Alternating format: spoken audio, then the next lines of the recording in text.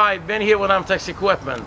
This is a very short introductory and operational video giving you a tour around your uh, all-new Marine 3047.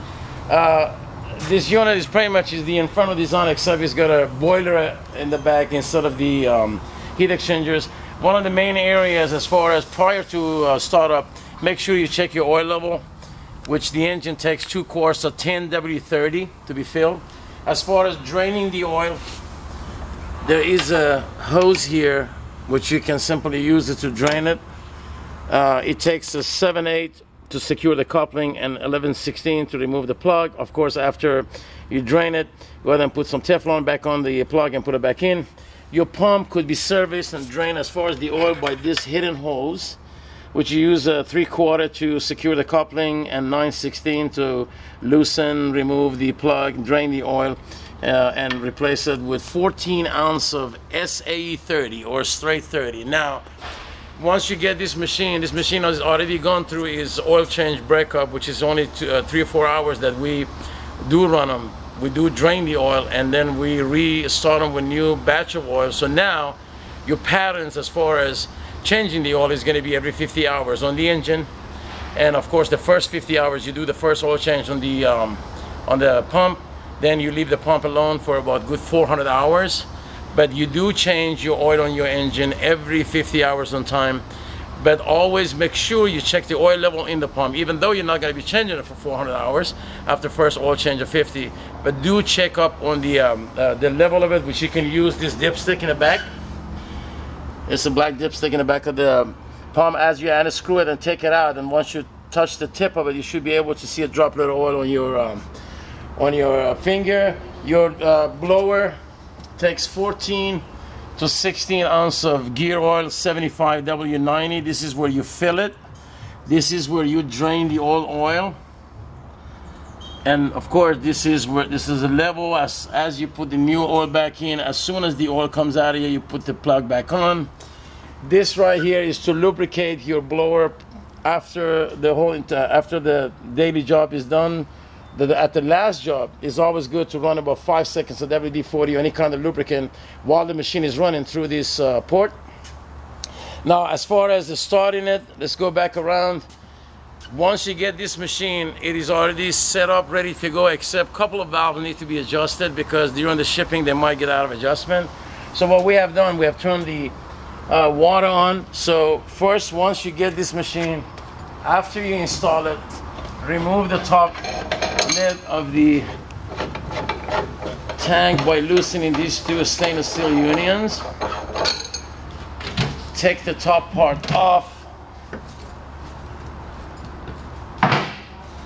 Now if you come around, you'll be able to see only one hose goes to the um, tank which is designated as a dripper valve.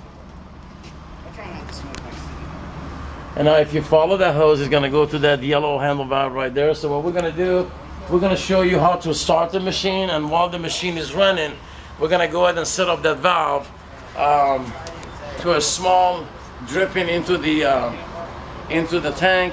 That way you're allowing the water to continuously arrive from the uh, garden hose or the uh, water supply source and go through the machine because you do have that giant heater in the back that it is extremely hot and powerful. So you, by you allowing a small amount of water leaving out of the unit all the time from the yellow handle dripper valve, which I'm about to show you how to adjust it, you allowing the garden hose water to slowly go into the machine, even if you're not using the machine, go through the pump, which is a circuit between your regulator, pressure regulator, and your pump, and always the water to go away from the pump through the heater rather than back up into the heater and cause any kind of problem with the seals. If you follow that dripper valve and having a slowly um, draining the tank, this machine can simply run till it runs out of gas. Now what we're gonna do, we're gonna show you how to start it. Every machine comes in with a, a jumper hose, which is a combination of male quick connect um, a ball valve and of course a hose. What is this for? Because what, what this is, every time you turn this machine on, you do have some of the water inside of the plumbing gets drained out. So you do get a gulp of air going in. So as far as starting it, you want to make sure that you drain all the air out of the system. How? By simply connecting this hose to the front end of the machine. You'll be able to see the water start pouring out because I do have my valve open. This is only prior to startup. Now, I'm gonna go ahead and start the system. Pretty much we're gonna show you how to set up the, um, the dripper valve. Then from there, show you how to speed it up, to turn the heat on. And then from there, you know, we, um, we're just gonna go over a couple of more points and say goodbye from Houston. Now, we're gonna go ahead and um, turn the machine on just like the Infernos. You do have your engine panel in the front. This is your um, uh, ignition key. Here is your throttle, which is straight pointing straight forward, and your choke handle is uh, pointed upward. Now, going over the quick uh, features in the front, here's your exhaust of the engine, completely made from stainless steels. And here, this is your pressure pump off and on. That means once you turn this on, if the key is on, you should get a yellow light coming on. But by turning this toggle switch on, you'll be able to hear the, the clutch engaging. If you bring the camera this way, as I'm turning off, turning the toggle switch off and on, the magnet inside, if you notice, is moving and, and engaging. The only way for this magnet to engage, water has to be available. That means if, for whatever reason, there is no water turned on towards the machine, for safety, the pump clutch will not start. So that way, the operator error as far as damage the pump is zero. We're gonna go ahead and start it right now. So if we already have drained our system free of air, we're gonna take our, either leave it on or just uh, have the uh, valve shut. We're gonna go ahead and move the throttle and the choke handle all the way to the right.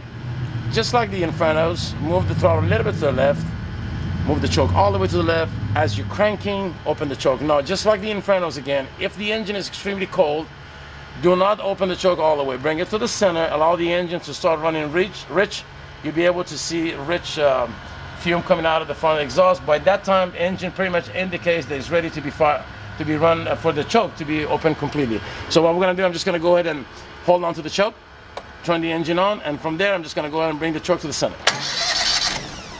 One more try.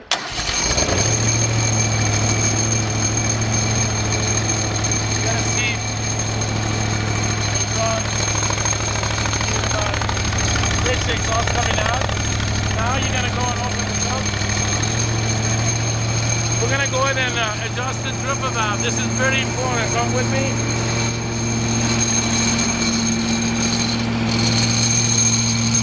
If I open the dripper valve here, you Then you start reducing it to a small flow by looking at me on the valve right here.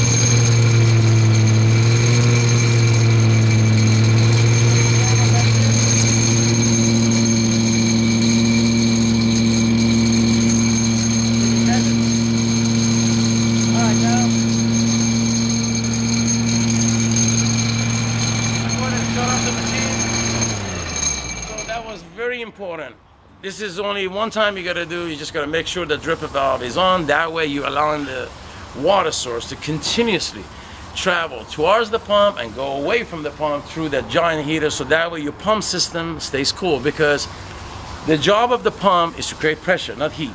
That's why by having a small amount of water dripping or flowing into the tank, you're getting the garden hose water to continuously travel through the pump and go away. I'm gonna go ahead and uh, quickly put the top back on. I'm not gonna, I don't have that much time on the video, but I'm gonna show you how to set up the heat, how to turn it on, which pretty much is gonna be, that's what you're gonna do on every job. It all depends what type of temperature you're gonna set this baby up. I'm gonna go ahead and put the uh, top back on.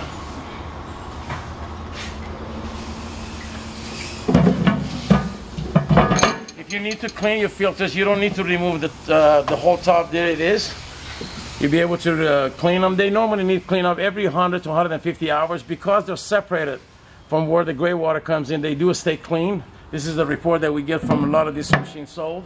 So right here, just want to get a, a, smooth connect on your um, unions.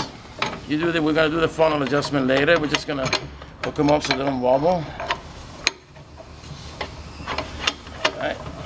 can get this a little bit this way.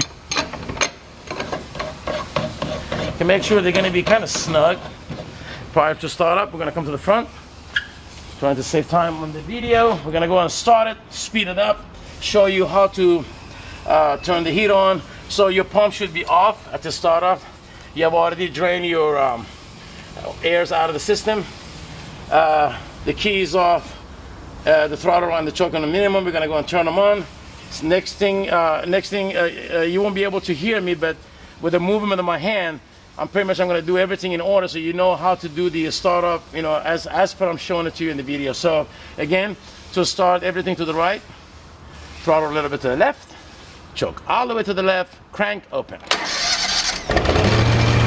Now in order to get this uh, burner to run smoothly, your minimum uh, RPM should be 28, 2800 and up.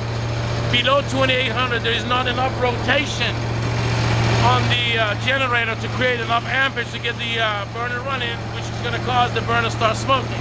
So I'm just going to go and increase my RPM about 2800 and up, turn them up, turn my pump on, set my thermostat, you'll be able to see the heat production system.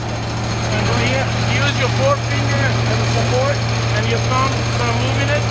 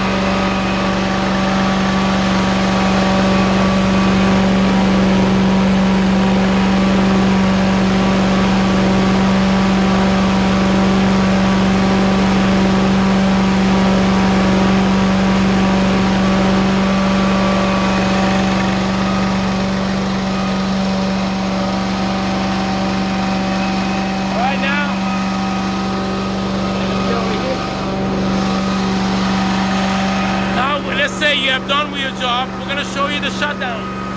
Shutdown is very simple. First, lower the RPM. But before to lower the RPM, turn the burner off.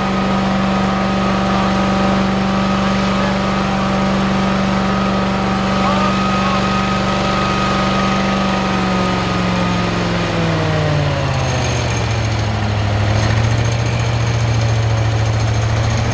you want to allow all the hot water to be uh, to be pumped out of the system so keep your pump on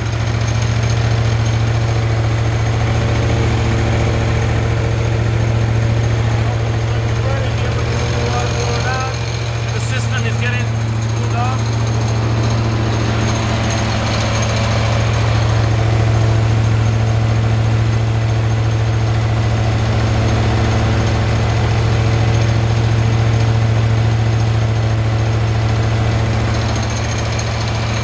Now, once the temperature goes all the way out, all the way down, this is time to shut off the pump. Now, our temperature is very much cool.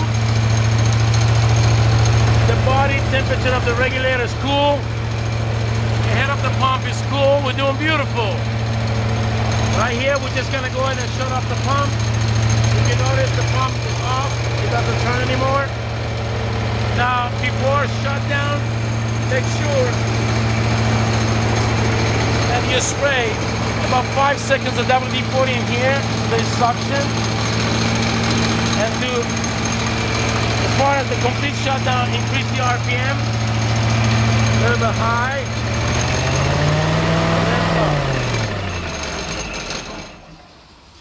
Now this system, it can be uh, driven by uh, two technician or single technician. Now you do have two vacuum ports, you can combine them together to get the maximum airflow towards the tank. This is in case if you want to be going uh, long distance. However, you can always run two independent technician off each. You do have your um, two pressure outlet in the front. which you can hook up two tile and grout cleaners, two wands, one wand, one tile and grout cleaner, one furniture tools, one carpet, whatever. However, if you want to do water extraction with this system, there is no reason for you to either hook up the water or turn the pump on. Because after all, if you remember, I told you, the only way you can turn the pump on if the water is present. So even if you happen to turn the pump on, because uh, if the water is off, the pump will not engage. So anyway, you can run this machine dry without any uh, water connected to it. And once you turn the water on to the machine, you'll be able to adjust the temperature to warm, cold, warm, hot, super hot, and what have you. Again, this was a quick uh, demonstration of this uh, machine, showing you how to set it up prior to uh, first startup once you receive the system. But we do have our technical assistance line is always open, 832-860-4647. Again, I want to thank you for your time today. Allow me to show you your new uh, Inferno, I mean uh, Marine 3047, and I'm looking forward to see you in near future videos.